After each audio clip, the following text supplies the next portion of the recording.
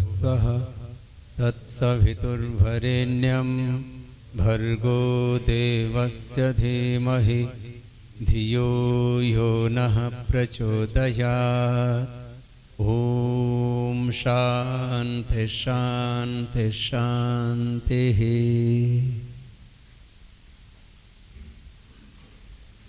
भारत में 200 सालों से स्वदेशी के लिए एक आंदोलन चलता रहा। बंग भंग के समय 1905 के लगभग यह आंदोलन बहुत बड़ा स्वरूप ले चुका था। और अठारह की क्रांति से पहले भी यह आंदोलन बहुत व्यापक रूप में देश में उठा था। एक बात जिसको सारी दुनिया के सभी संभ्रांत लोग, समझदार लोग और न्यायप्रिय लोग मानते हैं कि यूनिवर्सल लॉ नेचुरल जस्टिस किसी भी व्यक्ति, समाज, राष्ट्र की जो संप्रभुता है और वहाँ के लोगों के न्याय के लिए। स्वदेशी एक निजता से जुड़ा हुआ। उनके आत्मसम्मान, गौरव, स्वावलंबन, समृद्धि आत्म समृद्धि से जुड़ा हुआ प्रश्न है। दो तरह की व्यवस्थाएँ पूरी दुनिया में है कि एक लोग वो ऐसा चाहते हैं कि सारी दुनिया के संसाधनों पर हमारा अधिकार और इस तरह के प्रयास भी चलते रहते हैं कि पूरी दुनिया की डायमंड की इंडस्ट्री को मैं कंट्रोल करूँ। इसको बोलते हैं साम्राज्यवाद। यह है कैपिटलिज्म कि सारी दुनिया के गोल्ड पर, सारी दुनिया के डायमंड पर, सारी दुनिया के पेट्रोल पर, सारी दुनिया की गैस पर। फिर इससे आगे आता है कि सारी दुनिया के टूथपेस्ट के ऊपर, सारी दुनिया के साबुन शैम्पू के ऊपर मेरा अधिकार पूरी दुनिया के जो है टेलीकॉम पर मेरा राइट हो जाए, जैसे हिंदुस्तान में भी इस तरह की कुछ कंपनियाँ हैं जिन्होंने इस तरह के अपने प्लान्स लॉन्च किए हैं, जिसके कारण से लगभग लगभग 90 परसेंट जो टेलीकॉम इंडस्ट्री है वो खत्म होने के कागार पर है। और इसमें कम से कम भी नहीं तो करीब पचास हज़ार से एक लाख लोग बेरोजगार हो चुके ऑलरेडी टेलीकॉम इंडस्ट्री चाहे वो रिलायंस एक तो जियो तो अलग, उसमें महा आकार ले चुका है, वो तो सबको पता ही है क्या हो चुका है उसमें। डोकोमो खत्म हो गया, फिर को यूनिनार था, वो खत्म हो गया। और कितने छोटे छोटे ब्रांड थे, सब लगभग खत्म हो गए या खत्म होने के कागार पर। पूरी दुनिया में एक तो ये सोच है। दूसरी ये है कि भाई, हम जो है, देखो, दो तरह से किसी भी क्षेत्र में आगे बढ़ा जाता है। एक को बोलते हम आत्मस्पर्धा। अपने से अपनी स्पर्धा हम अपना आज से कल बेहतर कर रहे हैं। एक होता कि दूसरा कोई ना कंपटीशन नहीं होना चाहिए दूसरों को खत्म करके अलग अलग तरीके हैं उसके खत्म करने के। या तो आपके पास में आर्थिक ताकत बहुत ज़्यादा होती है तो आप लंबे समय तक सरवाइव कर लेते हैं, और आप पच्चीस हज़ार, पचास हज़ार, एक लाख करोड़ का आप घाटा भी सह लेते हैं, आप उससे खत्म कर देते हैं। एक आर्थिक ताकत से किसी को खत्म किया जाता है, एक राजनीतिक ताकत से इस तरह के कानून बना दिए जाते हैं कि दूसरे खत्म हो जाए। और भी इसमें कई तरह के षड्यंत्र कानूनी तौर पर किए जाते हैं। कुछ जो है कॉन्स्परेंसी की जाती है कि जिससे कि ब्रांड खत्म हो जाए। हमने न कोई आर्थिक षड्यंत्र रचा, न कोई राजनीतिक षड्यंत्र रचा, न कोई कानूनी षड्यंत्र रचा। पतंजलि आज टर्नओवर में खाली एक विदेशी कंपनी यूनिलीवर हमसे आगे है, लेकिन ट्रस्ट में आज पतंजलि देश का नंबर वन ब्रांड है। ये हमारे लिए बड़ी टर्नओवर में खाली एक आगे है और इस बार हमको चाहे अभी हमारे पूरे अभ्युदय विभाग का यहाँ फ़ूड टीम बैठी है यहाँ पर नॉन फ़ूड वालों के साथ में कल मिल चुका हूँ। अगले साल तक ट्रस्ट के साथ साथ यूनिलीवर को हमें टर्नओवर में भी पीछे छोड़ना है ये भी, और वो सामर्थ्य पतंजलि के अंदर है। दुनिया में सबसे बड़ी बात होती है कोई ब्रांड बिल्डअप करना ट्रस्ट बिल्डअप करना। लोगों का भरोसा जीतना। और पतंजलि ने ये काम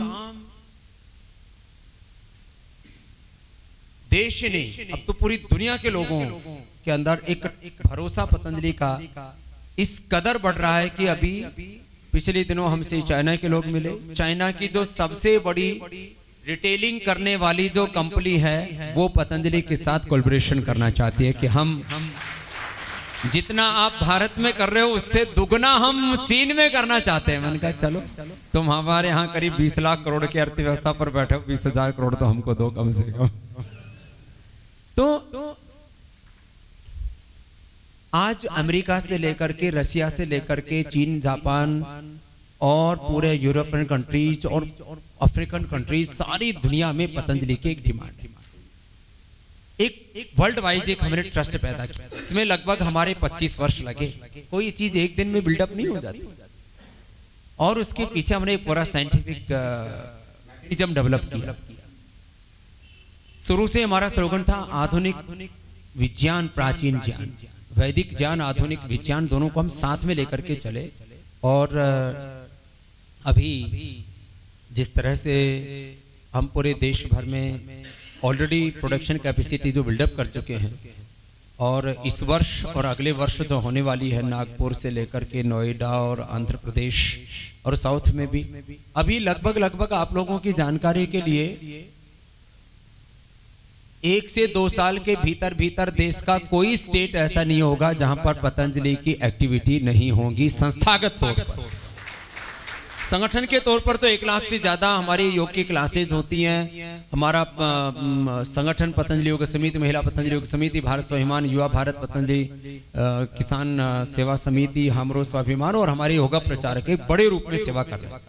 लेकिन संस्थागत रूप से अभी आप लोगों की जानकारी के लिए करीब इस साल हमारी कम से कम आठ दस तो नए संस्थाओं के उद्घाटन होने वाले हैं जो बनकर के तैयार हो चुके तो वह कार्य तो चलता ही रहेगा। इसके साथ साथ ये स्वदेशी के क्षेत्र में भी अलग अलग जगहों पर नए नए प्लांट्स बनना, करीब हम लोग इस समय तक करीब करीब जो प्रोडक्शन कैपेसिटी बिल्डअप कर चुके हैं और इस साल तक जो और तैयार हो जाएगी, करीब पचास हज़ार करोड़ की प्रोडक्शन कैपेसिटी इस साल तक। और आने वाले डेढ़ से दो साल के अंदर अंदर करीब एक लाख करोड़ रुपए की प्रोडक्शन कैपेसिटी हम लोग बिल्डअप कर लेंगे। ये है पतंजलि का आगे का विजन और इसमें करीब एक लाख लोगों को हमने अभी रोज़गार दिया और आगे जिस तरह से, एक तरफ़ हम ये स्वदेशी के कार्य के साथ में जो हमारे मेन फोकस जो हमारी चैरिटी के काम है, योग, आयुर्वेद, उस पर रिसर्च और इसके साथ साथ पूरे देश में एजुकेशन को लेकर के, हरिद्वार में भी इसी साल करीब दस हज़ार लोगों के एजुकेशन के लिए रेसिडेंशियल पूरा जो कैंपस है।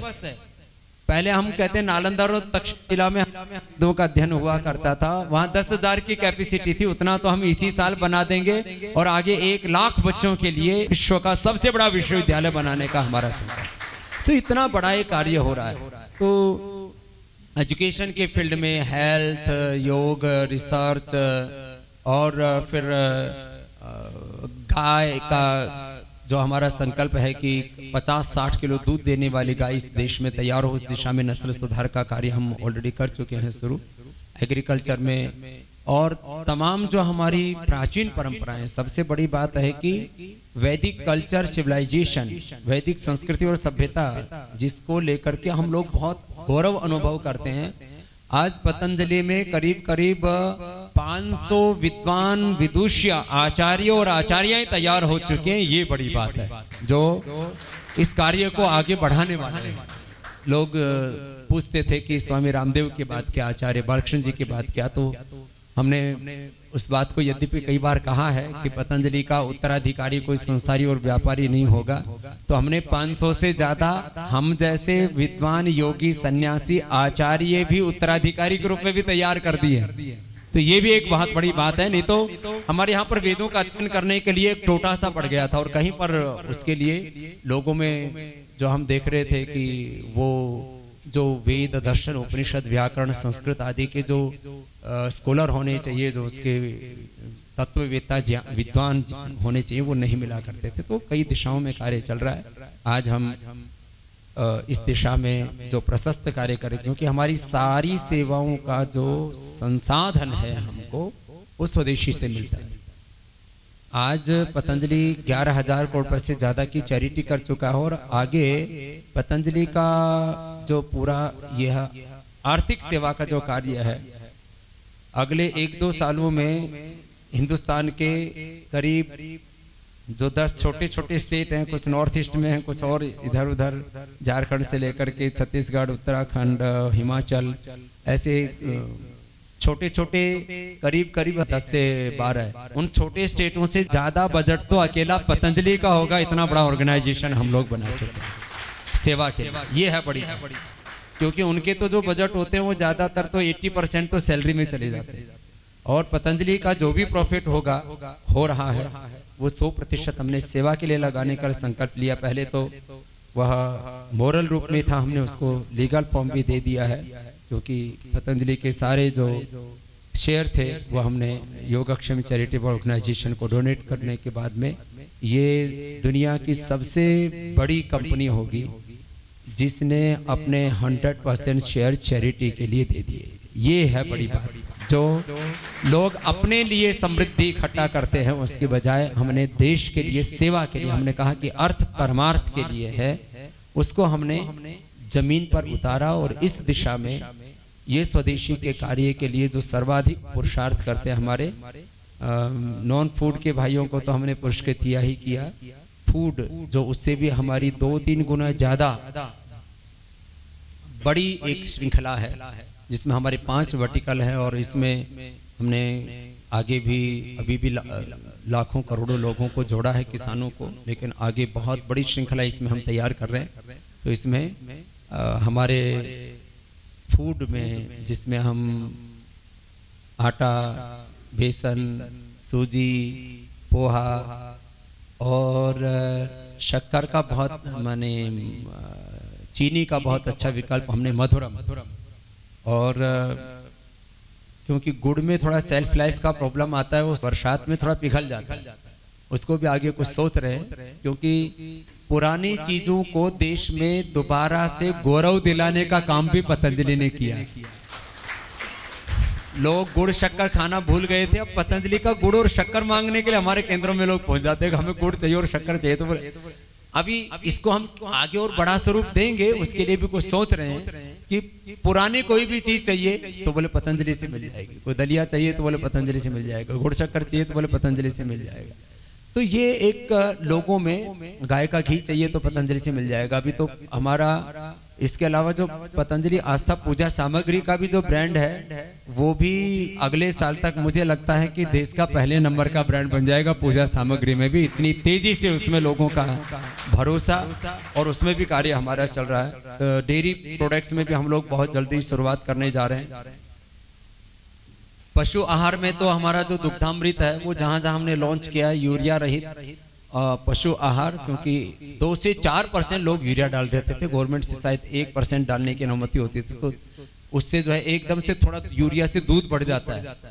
पहले तो लोग यूरिया दूध के अंदर डालते थे, फिर वो उसको नीम कोटिंग करना पड़ा है तो उससे सेल्फ लाइफ उसकी बढ़ जाती है तो इसी चक्कर में डाल देते थे। अब यूरिया पशुओं को खिलाते तो उससे पशु कटता है और ज़्यादा दूध देता है। और वो एक दो ब्यात में फिर खराब हो जाता है। उसकी जो है फर्टिलिटी खत्म हो जाती है और वो बांझ हो जाता है पशु। तो इस चक्कर में अभी हमने कोशिश है हमारी शायद 400-500 करोड़ का टर्नओवर तो इस साल हमारा पशु आहार का भी हो जाएगा। बहुत जल्दी ही हम लोग दिव्य जल अगले महीने हम दिव्य जल लॉन्च करने वाले हैं। और इस साल कोशिश होगी हमारी शायद इस साल सर्दियों तक। नहीं तो किसी भी कीमत पर अगले साल पतंजलि का परिधान भी लॉन्च हो जाएगा जिसमें करीब दो से तीन हज़ार इसके यूज़ हो गया हमारे।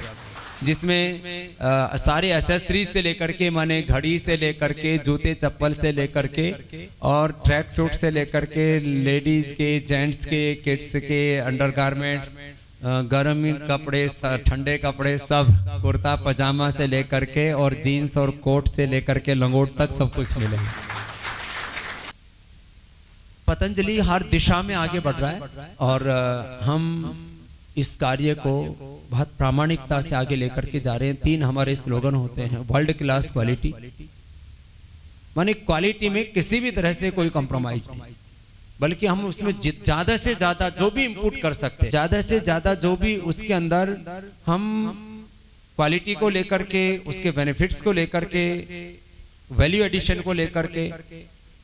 अब जैसे हम फ़ूड में पाँच चीज़ों की बात करें, हमने जैसे आटा वर्टिकल के अंदर हमने ज़्यादा फाइबर के साथ, ज़्यादा चोकर के साथ हटा दिया।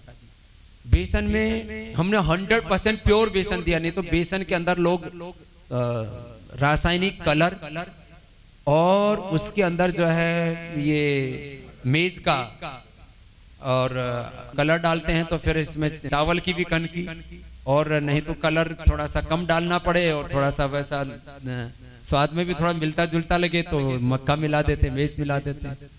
और क्या क्या इसमें हथकंडे अपनाते हैं? कई बार तो जितना चने का रेट होता है, उससे सस्ते में लोग बेसन बेच देते पतंजलि के 99 परसेंट प्रोडक्ट अभी सस्ते मिलते हैं, लेकिन बेसन और घी पतंजलि का हमेशा महँगा मिला है, शुरू से लेकर के आज और लोगों ने इस बात को स्वीकार भी किया।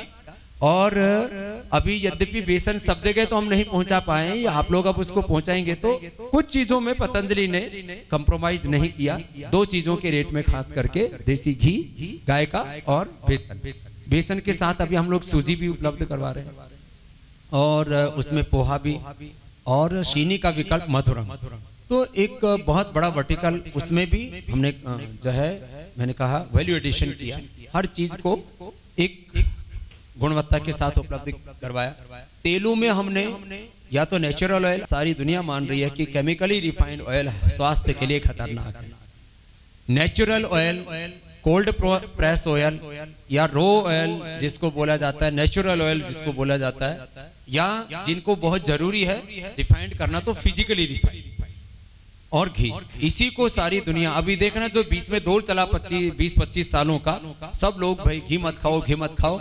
अब सारी दुनिया के top dietician top doctors heart specialist से लेकर के कैंसर स्पेशलिस्ट सब बोल रहे हैं कि यदि आपको कैंसर और तमाम कैटरे का हार्ट की problem arthritis skin problem SLMS autoimmune disease इन बीमारियों से बचना है तो आपके लिए नेचुरल जो फैट है, चाहे वो नेचुरल ऑयल है, चाहे वो घी है, तेल है, ये आपके लिए सर्वश्रेष्ठ है। और पतंजलि में हिंदुस्तान में पहली बार गाय का घी नेचुरल ऑयल और फिजिकली रिफाइंड ऑयल को सबसे पहले ब्रांडिंग हिंदुस्तान में किया तो पतंजलि ने। और उसका हमें बेनिफिट भी मिल रहा है। एक तो लोग हम हेल्थ को लेकर के इन चीज़ों को ड्राइव कर रहे हैं और ये कार्य बहुत बड़े रूप में मैंने कहा वैल्यू एडिशन के रूप में हमने किया। हमने बिस्किट में किया तो कोलेस्ट्रॉल ट्रांसफैट और मैदा रहित बिस्किट का कॉन्सेप्ट हिंदुस्तान में लेकर के आए तो पहली बार पतंजलि लेकर के आए फिर पूरे भारत के चावल लोग एक ही दो तरह के चावलों को महिमा मंडित किए जा रहे थे।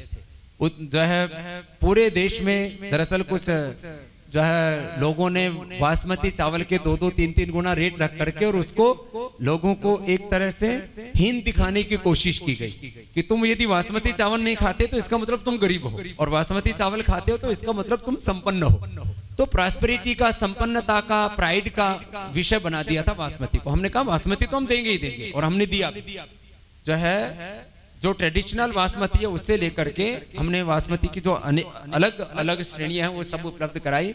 और एक साथ भारत के सारे चावल एक ब्रांड के नीचे यदि किसी ने पहली बार भारत में लॉन्च किया तो वो भी पतंजलि। नहीं तो कोई सोना मसूरी बेच रहा था, कोई कतरनी बेच रहा था, कोई कोलम बेच रहा था, कोई गोविंद भोग बेच रहा था, कोई बासमती बेच रहा था, कोई सेला, कोई इधर उधर। अलग अलग ब्रांड कोशिश कर रहे थे अलग अलग ब्रांड बने हुए थे, पिछले तीस चालीस सालों से लगे हुए थे। दालों में हमने अनपोलिश नेचुरल दालों का कॉन्सेप्ट और वो भी सस्ते दामों पर, जो कुछ लोग जो है इसमें भी अलग अलग प्रकार के हथकंडे अपना रहे थे। मसालों में हमने बिना मिलावट के मसाले। नहीं तो मसालों में लोग क्या क्या मिला मिला करके उनको सस्ता बेचने के चक्कर में हमें करीब मसालों में पाँच साल हमें स्ट्रगल करना पड़ा। तब जाकर के हम अपने पतंजलि के मसालों को बाज़ार में हमने लॉन्च किया एक सम्मान के साथ। नहीं तो मार्जिन इतना ज़्यादा दे देते हैं, उसके अंदर इतना पता नहीं क्या क्या ऐसे ऐसी चीज़ें मिला देते तो हेल्थ के लिए अच्छी नहीं। सामान्य रूप से पहले लोग बोलते थे लकड़ी का बुरादा और पपीते के बीज और इधर उधर की चीज़ें बोला करते थे, लेकिन लोग उससे भी ज़्यादा आगे पहुँच गए, कुछ इस तरह के चीज़ों के विकल्प खोज लिए गए, जो जिनमें थोड़ा बहुत स्वाद होता है, लेकिन स्वास्थ्य के लिए बहुत हानिकारक है। तो उन तरह की चीज़ों को डाल डूल करके मसालों का एक अलग ही तरह का एक वातावरण बना दिया था, उसको भी पतंजलि ने उस तिलस्म को भी तोड़ा, और जहाँ तक बाकी जूस और बेवरेजेस का प्रश्न है तो जो जड़ी बूटियों के जूस हैं, आंवला, एलोवेरा, जामुन से लेकर के। अभी तो जामुन का सिरका भी लॉन्च कर दिया हम लोगों ने। और जो है एप्पल का, सेव का भी जो सिरका है, वो आपको मिल जाएगा। वो भी आ गया तो जो है, कुछ लोगों ने तो सोचा कि पतंजलि ने शायद दारू लॉन्च कर दी है।